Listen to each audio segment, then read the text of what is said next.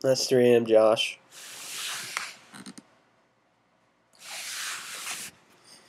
Seems a bit bored, but that's what I'm here for. So, a little update. I gave a book away, and now I'm sitting on this couch. You can see how awesome the pattern is. Couple highlights. Don't miss the stains. Yeah, well, I'm trying not to show them the stains. um, couple highlights. First off, um, I'm rooming with Ned Gable, or some of you know him as Nedgeable.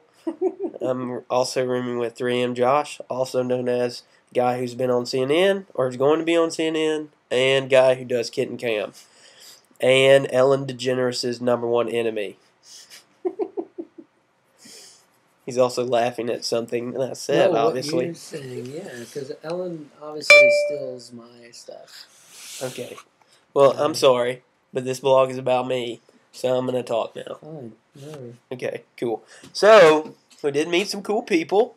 Um, it's weird how everyone is so photoshopped in their avatar that when you see them in real life, you're almost like, wow, where's your avatar?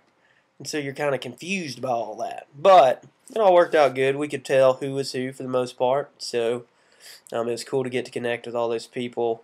Um, it's cool to learn that Ned had a secret nickname that none of us knew about until now. It's also cool that that nickname came from Life Church, so that's pretty sweet. Um, and as I already said, I gave away a book. So anyway, tune in tomorrow for more news. Peace.